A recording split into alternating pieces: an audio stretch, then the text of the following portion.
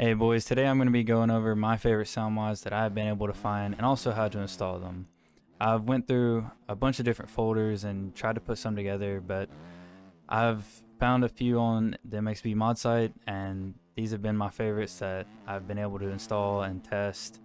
Um, so yeah, there will be timestamps throughout the video. Uh, if you need the how-tos, you can watch them. If not, you can just go ahead and skip through. Um, without further ado, let's get into it. Alright boys, so the first four I'm going to use are from the Beyer Sound Mod Pack, his version 15.1. Um, you're just going to scroll down, hit download. It'll take you to a OneDrive link and it should start to download automatically. If it does not, then you can just hit download right there. Set download, you'll open up the WinRAR pack. It should just have a bikes folder like this. You can open it up and have all the folders here. Uh, what I do personally is go individual open one up, put it onto one bike, test the sound, see how it is. Um, you can just drag your bikes folder right into your mods folder here. You can just drag and drop it there and it'll put every sound on every bike that he has. Um, but for me, I'm going to go through, find the Husky because that's what I like testing sounds on. I'm going to come in here and look for the Husky FC, drag and drop them, replace and then you open up your game to test.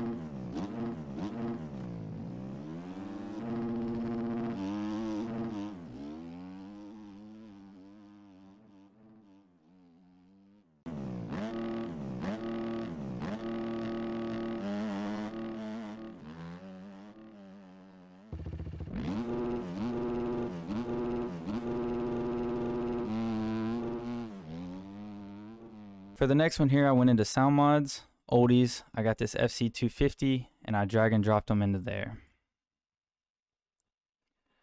The good thing he did about this pack is one, it makes it really simple for you to just drag and drop the normal OEMs. But if you go into sound mods, you go down here to samples, you can mix and match any of the sounds from a certain bike that you like, right?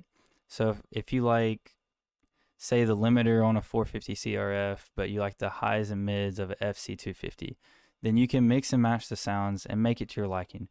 You can really build your own bike essentially with this pack. You just have to put it in a folder and then stick it into your mods uh, bikes folder on the bike that you want it on, and it'll be all good.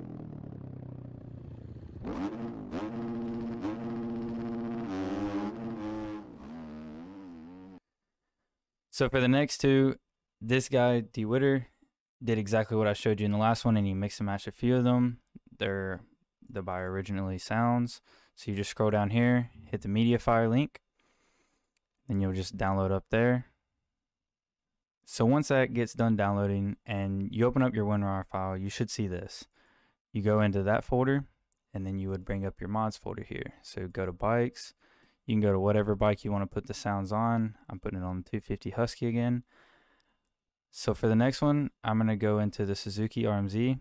I'm going to grab all of these, drag and drop, replace the files, and you can see exactly what he did. So he has a CRF on high and low mid, the FC250 limiter and on idle, RMZ idle, uh, the YZ250 off idle, low, mid, very high, and very low.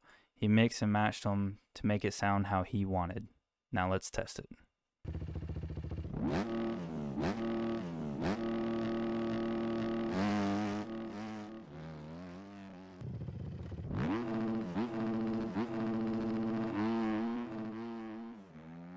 Alright boys, so that's the end of today's video. If you have any sound mods that you think I should try out or that you think sound better, let me know for sure down in the comments. And uh, yeah, hope you enjoyed.